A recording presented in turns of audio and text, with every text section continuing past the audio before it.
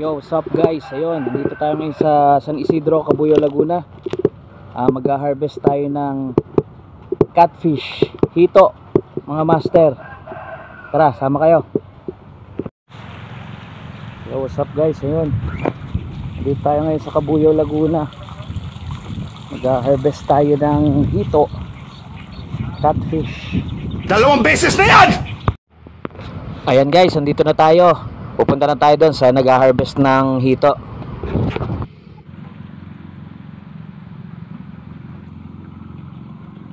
Ayan, puro pala isdaan dito. Ayan.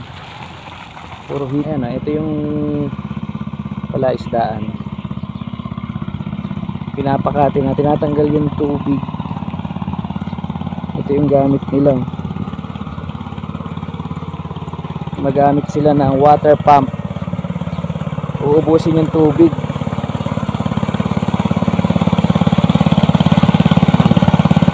Mga ilang oras pa yan bago maubos sa side? Mga isang oras? Wala na. wala? Ah, okay sige. Ayan guys. Dito inililipat yung mga hito na nakuha doon sa palaisdaan. Tubig. Sa side maigi para makuha na yung mga ano, dito yan guys malapit na maubos yung tubig. Lumulutang na yung mga hito. Tapos ay din na yung mga natitirang hito dito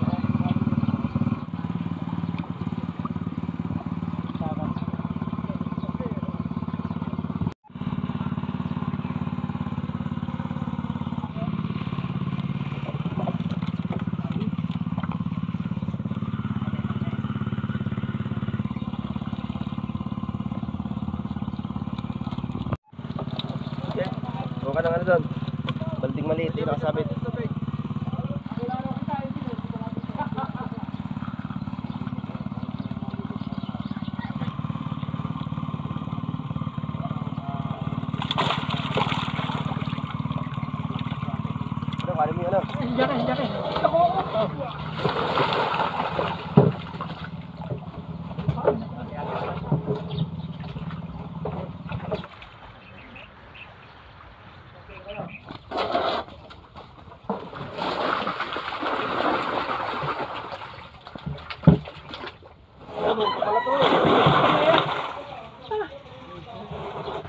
Tapos na mag-harvest. Ali inaantay na lang namin yung ah, buyer yung mamamakyaw ng mga hito.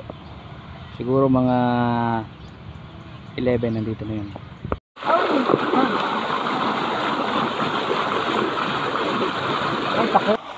Ayan guys dumating na yung buyer. Bali dinidry na yung tubig para maiahon na lahat yung mga hito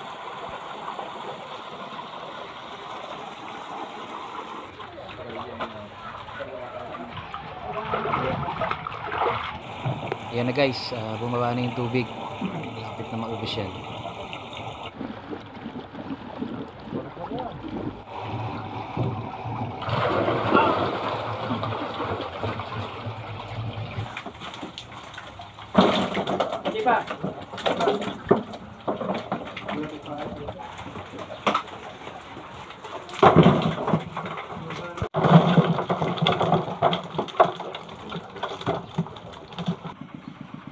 Ayan guys, dito na tinitimbang yung mga nakuhang hito para diretso na sa truck. Yan yung nagsusupply ng tubig sa mga palaisdaan guys. Ayan, deep well.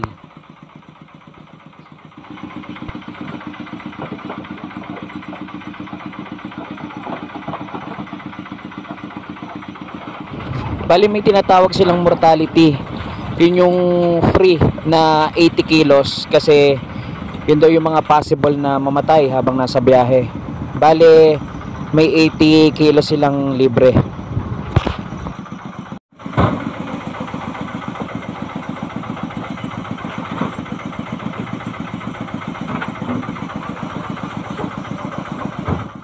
Ilalagyan nila ng tubig guys para tumagal ang buhay ng hito kasi babiyahe pa yan sa Pasig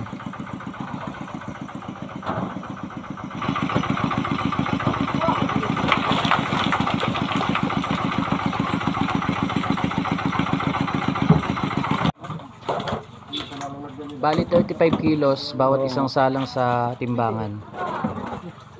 23 at kalahating banyera inabot lahat-lahat times 35. Bali umabot din siya ng 822 kilos.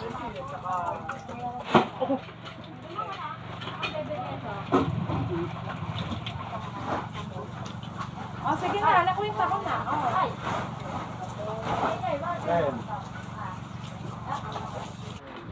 Dito nilalagay yung mga itlog guys hanggang mapisa siya.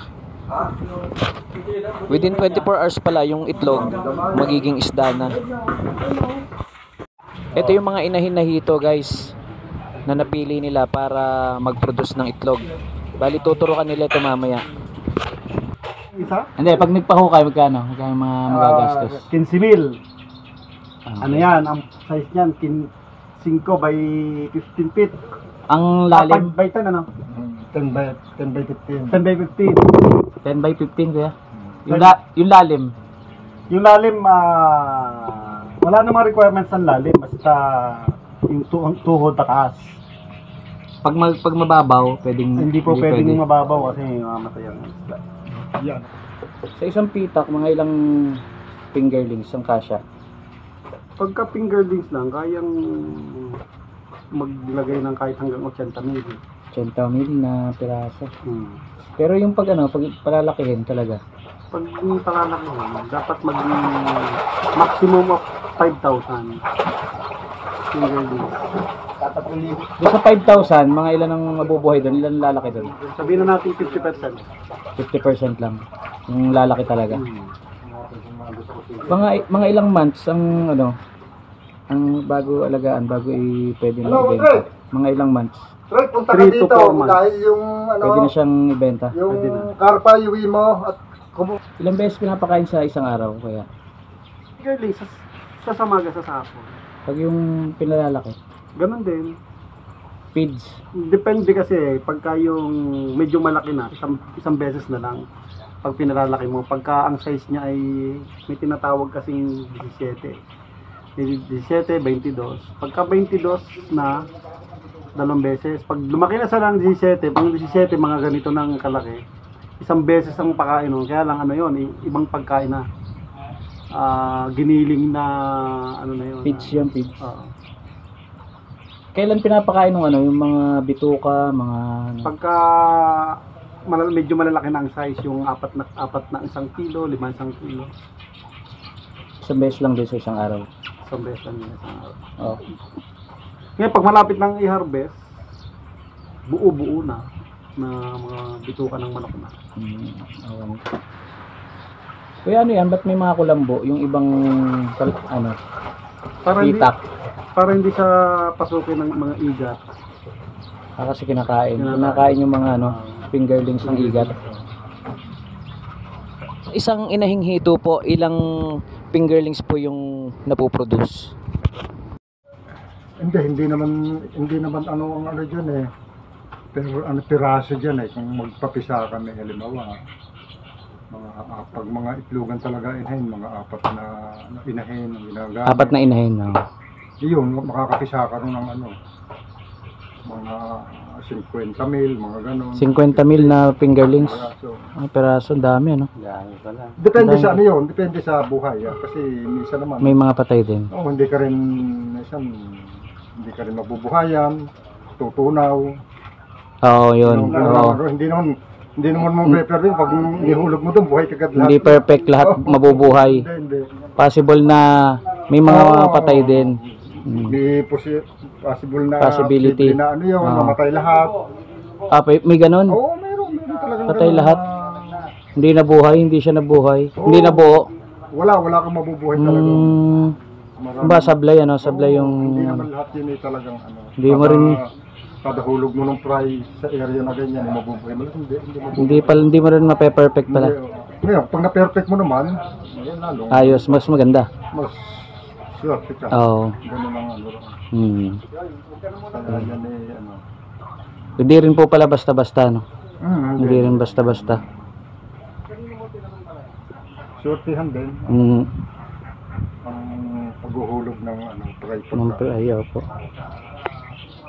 Yun pong magiging itlog, mga ilang araw bago maging isda siya. 24 hours yun. Ah, 24 hours mag ano na mabubuhay. Minsan, Hindi pa inaabot eh. May, gumag Sana yun, no? may gumagalaw-galaw na, Halimbawa, maliliit. Halimbawa, pinisa mo ngayon ng alas 7 ng umaga. Bukas ng ano yun, alas 7 ng umaga. May maliliit na isda na yun. Oo, minsan 20, iba 24 hours na yung bukas. Apo. Alas 7 ng umaga. Mm. Ay di, ah hindi. Well, ah, oo nga, oo nga, 24. 24 Magkapon at hours. saka, ano, Kinabukasan. 24 hours yun, eh. Mm. Mga wala pa nga, minsan 20 20 hours lang. Basta walang 24 pa minsan. Depende yun sa kondisyon ng ano, Nung itlog kung maganda. Oo. Parang yung itlog din ang ano, pag maganda ang Ang similya. ano, maganda ang bisa. Oo. Ganon din sa ano, sa isda. Parang sa manok lang Parang din. ikaw naman. Ay paano pala nalalamang may sakit yung hito, yung isda? Ah, si- makikita mo siya sa ano, sa gilid, pa- sa gilid niya na galit Parang siya, nanghihina. o namumula. Mm. Nakikita, nakikita ka nandiyan patay, namamatay na. Yung simula, sintomas na yun na may sakit yung isda. Meron bang ano yung parang peste, lahat patay, namamatay lahat? Nangyari na sa kanya yun. Mm, Patay lahat? Hindi naman Hindi nalalahat, lahat. pero Ang dami. Ano sa dami. Mm. Pero ma- ano din naman, madali din naman gamot. Eh. Tara, magiging huli tayo. Mada, ano din naman. Nagagamot din naman. Tubig din lang naman ang ano, panggamot. Panggamot. Malinis na tubig. Mm, palit ka lang. Papalit. Pag nakita mong gano'n na isda mo, eh, na Dagdagan mo! may sakit, ramdam mo siya na namamatay na, marami nang namamatay. Palitan mo agad ng tubig. Siguro marumi na yung tubig. Ilan pa ba ito? nagmumula. Isa na rin yung sa pinagmumula nun. Yung dumi, maduming tubig. lang din eh. Mm, okay. Siya na yun sa pinagmumula. Ano pong feeds yung pinapakain? Pag yung parang sa tilapia din, tsaka sa bangos, o iba?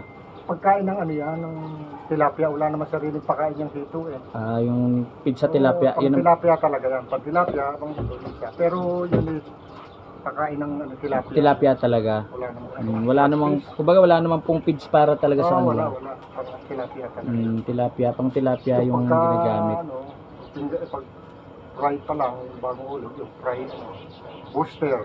Booster. Pag maliliit pa. Pag maliliit pa. Oo, pag maliliit, Mm. pag yung simula sa pagkapisa, Mm, Siyempre, iuhulog ko na sa nila. Pag nakalimang araw yun sa ganyan tangkay, pag na-isa na siya, nakalipas sa dyan sa 24 hours, sana yun, eh, iuhulog mo na yan. Diyan sa area na ganyan. mm. Yung pigs na kakainin. Muna siya pakakainin ng Roma, Rooster. Booster, okay po. Pwede mo nang haluan ng Primas to. Magaspang naman yung konti doon sa ano. Ma, pag medyo lumalaki-laki na. Oh, mas ano yun, mas mabilis siyang lumaki pag umihalo na siyang Primas to. Kasi din. Kailangan doon, marunong ka rin pumili ng inahin. Oo, syempre. Hindi naman basta, hindi naman basta inahin. Huhulihin mo, Yun na, yun na. Mm. Pipiliin po rin siyempre doon yung ano, breeder. oo, yung talagang ano, Magandang klase. ganda ang itlog, may Oo. itlog na yung inahin. Tsaka ano yan, ah, tatlong klase ang ano, ano yan, light green, ang kulay ng itlog, Mm. light green, dark green, kulay gold. Pero yung light, sabihin nun, mas maputla yung pagka, pagka green na, ano pa yun, hindi pa siya, pu- bata pa, mga bata pa, inahin, hindi pa Ah, siya ganun. mapipisa. Mm. Pero yung dark green at saka yung gold, kulay gold, yun ang, Yun ang maganda. mas, ano na yun. Pagka mapipisa na talaga. Sana yun. no? Depende na lang yun. Kung magkamali ka, doon na lang siya magkakaroon ng, ng problema sa ano. Pero kung ano mo na siya, perfect mo na naman at kung hindi ka magkukulang sa pag-aalaga. Kasi minsan, ano rin eh,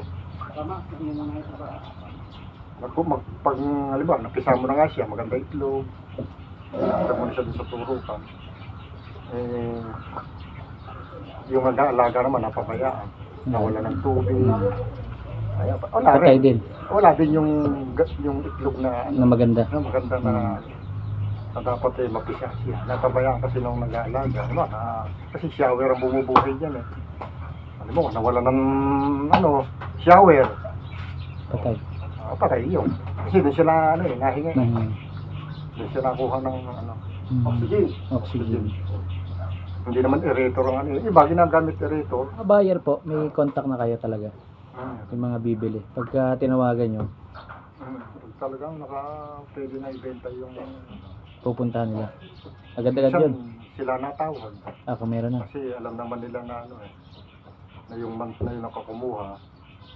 Ano kumuha, katulad niya, kumuha sila ng June. Ah, July. Hmm. Oo. Pag ilang buwan ka ng ano, tatawagan ka na, no? nakatat nakatatlong buwan ka na. Nasimula nung una ka ulit, niya sa'yo. Ano na ba ulit tayo yung pang ano, ano? Ganun. Ganun ang ano mo. Hindi naman, ikaw, papa-schedule ka sa kanila. Kung hindi sila nakatawag, ikaw naman ang pag kailangan, kailangan na yung isda mong pa-harvest, so hindi. Schedule mo na. Hmm, okay po. Ano po yung pakain nyo sa ano, yung hasang? Binibili nyo pa yun sa mga talipapa o bigay na? Hindi, kinukolekta lang namin dyan. Ano, wala nang bayad yun? Hinihingi nyo na Kasi ano naman eh, problema din nila kung saan nila itatapon yun. Oo, Kaya sila, ano, ano, ah, bigay na lang. nila yung minakolekta sa kanila araw-araw, hindi, ano, Hindi na sila magtatapon hindi ano na ko sila magtatapon. Kasi nung araw dito, nung pali wala pang fiscal dito. Makikita mo dyan sa, sa, sa daan. Simula doon papasok doon sa may, ano, kita mo yung yung hasang ng isda, ang dami sa kalsada, tigyan na lang, Tinatapon. tinatapon. Oo. At least ngayon, Oo, nakatulong pa kami sa hmm, sa pagbawas ng basura. Oo. Tsaka hindi na sila mamang problema sa ano, kung saan nila itatapon. Mm, yun, talagang ano. Oo.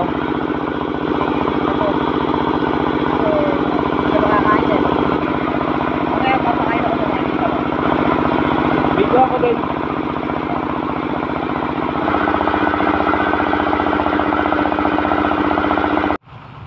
Maliliit pa lang po yun nandyan, kaya po ginigiling pa yung isda, bitukan ng isda, tsaka mga hasang. Pero pag malaki na po yung mga yan, buo-buo na po yung pinapakain yung mga ngayon.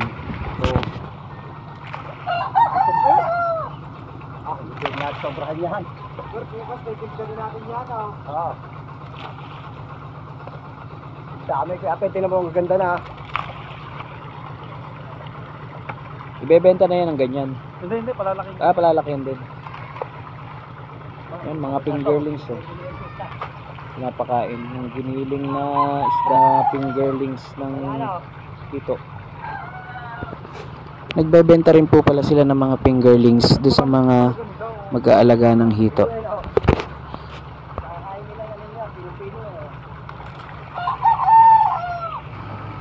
Kung mapapansin nyo may kulamboy itong pitak na to kasi mga fingerlings yung laman yan Ah, para hindi siya mapasok ng igat.